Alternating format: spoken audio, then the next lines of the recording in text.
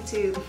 My name is Ruby Patchouli and on this channel we talk about curls, wellness, travel. Today's video is going to be a completely new curly hair wash and go. I'm going to be using new products that I've never used before and all of these products are considered drugstore brand.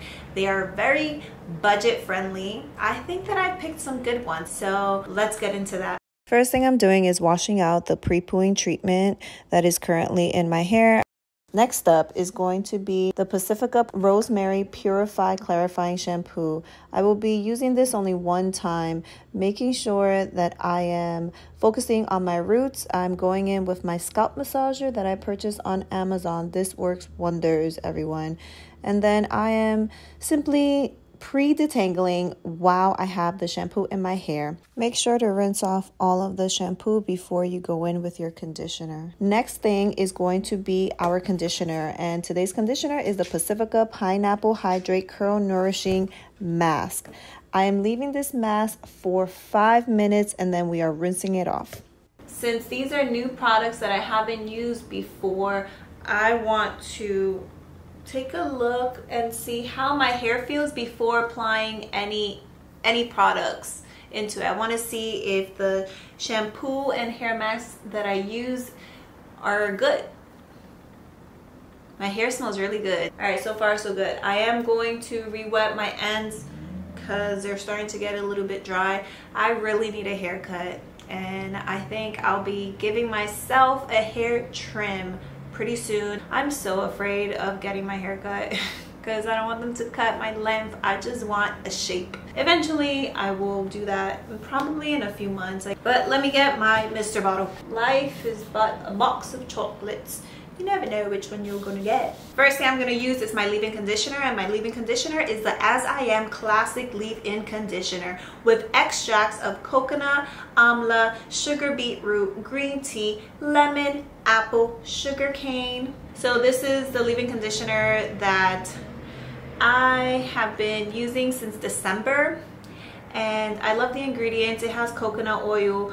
My hair responds very well to coconut oil. I know some people don't like it, but if it works for you, keep it up. This product I bought from, I think I bought this from Walmart.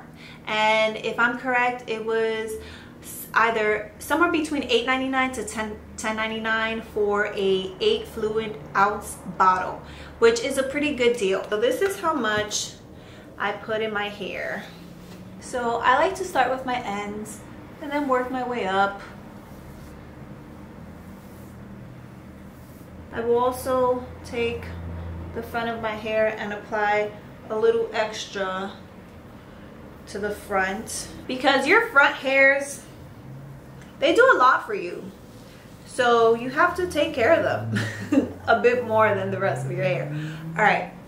So that's done. Okay the next step is our styling cream. The styling cream that I'm using today is by Dippity Doo and I got this for $4.50 at Marshall's. This is the Dippity Doo Girls with Curls Curl Defining Cream. It's supposed to nourish, control, and define your curls. So the instructions are, let's see, work cream evenly into damp towel dried hair with fingers, working from roots to ends the ingredients. It has glycerin and if you have low porosity hair glycerin is actually pretty good for you. It has silk amino acids so it's giving you some protein which is what our hair is made up of. It does have silicone. It has dimethicone. However that should be okay if when you're shampooing your hair you're shampooing your hair with something that has uh, a little bit of sulfates you don't have to steer clear away from sulfates just make sure that you're not using harsh sulfates and maybe don't use a shampoo that has sulfate every single time you only need to use a shampoo that has sulfates if you're using products that have silicones. So the way that I'm going to style my hair today is sections. I'm going to brush style my hair. Parting my hair in the back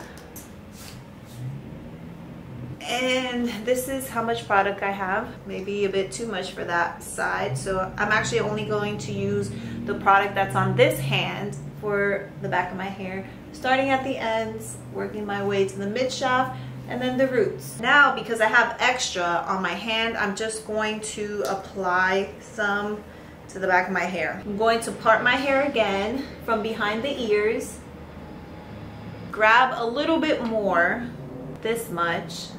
By the way, this smells really good. Now, I'm going to grab a little for the front. This is pretty runny. It kind of resembles like a gel, like a like a pudding gel, like the Camille Rose Curl Maker. That's the consistency that this has.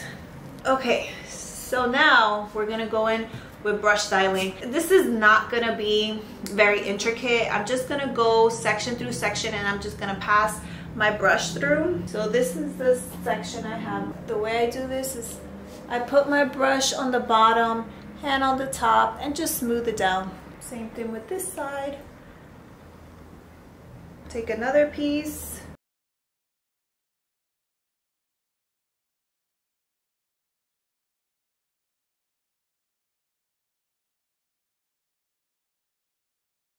Much easier when you have a mirror in front of you. That's why I keep looking this way. I have a mirror right there and that's how I'm able to see if I'm getting all of the hairs.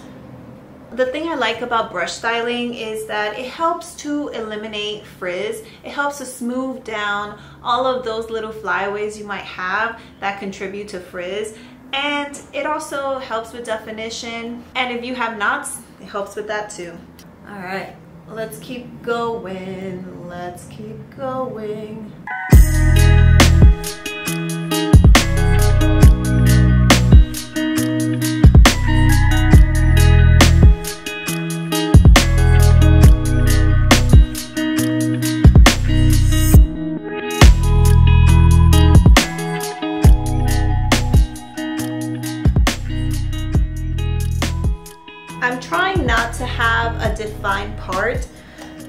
Today's routine, which is why I'm doing it like this.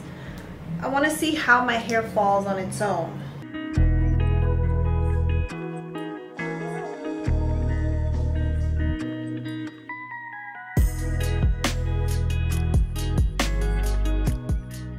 So now it's styled. The next step is going to be our hold step and I'm going to be using mousse today. The mousse I'll be using is by Dippity Doo Curls yet again. It is the curl boosting mousse. I bought this mousse for $6 at Marshall's. Directions, apply mousse as needed to hair for added volume. Concentrate on roots. I'm gonna start with this much first. Actually a little bit more, one more pump, this much. I'm gonna concentrate on the roots, like it said.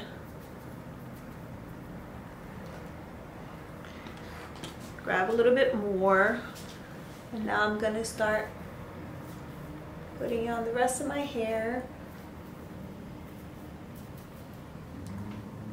One more.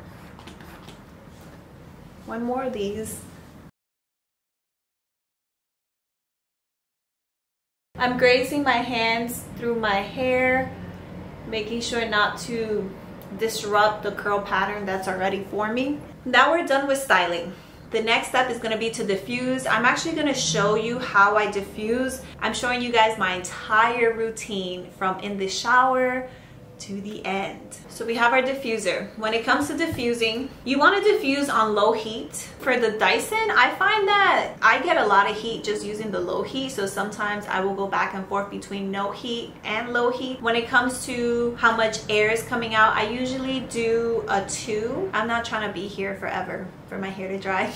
but if you do see that a level two of air pressure is too much for your strands, like if you see your strands blowing away, I would say go down to one. All right, so let's start this.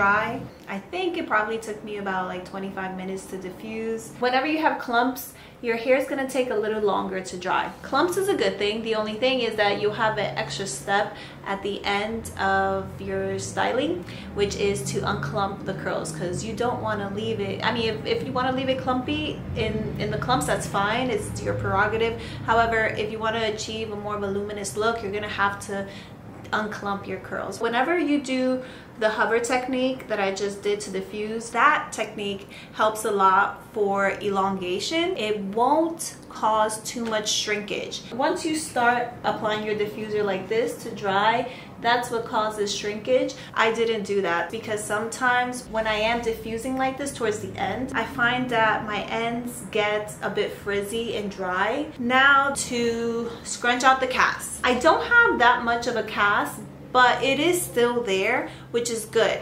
That means that your wash week should last for a few days. Even though I would love for my washes to last an entire week, that's not suitable for me because of my scalp. I do have dry scalp, flaky scalp, so I usually have to wash my hair like after the third or fourth day. Most important thing, do not scrunch your cast unless your hair is 100% dry. When you unscrunch the cast, you want to do it using a sealant oil. So the one I'm going to use is by Cliganic. It is organic. It's certified jojoba oil. I purchased this on Amazon. Let's see, one, two, three, four, five, six. I'm, I'm gonna use six drops right now. I like to put it in between my fingers and just scrunch the cast like this.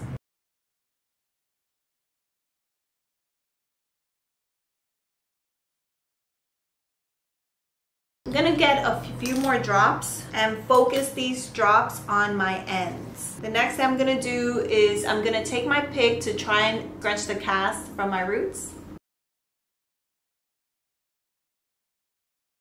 Now I am going to unclump my curls. I usually like to start in the bottom. This is how I do it. So you see this big clump, the big one. I'm gonna unclump this one. I like to curl it in the direction that it's already curled. This part can be tricky because you can definitely create frizz doing this which is why you want to make sure you have oil on your hands. Not too much because you don't want your hair to be greasy but all I'm doing is I'm trying to go from closer to the root and break the curl apart but then curl it the same direction it was curled. And that's how I keep the same formation. So that one big curl is now four curls. See now again, this step is optional. If you have thick hair, you probably don't need to do this step. I have fine hair, so I need to do this step because if not, it's I, I'm gonna look like I don't have a lot of hair. And I like to have volume, and this gives me volume.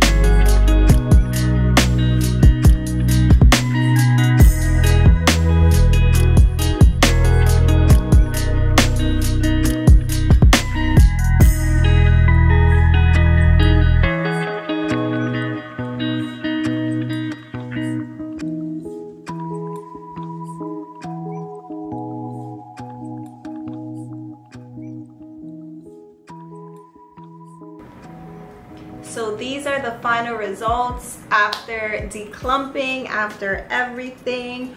Whew, I am hot. Oh.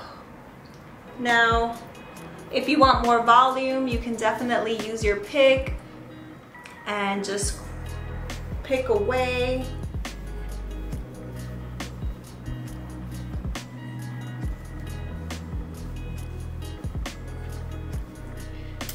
Okay.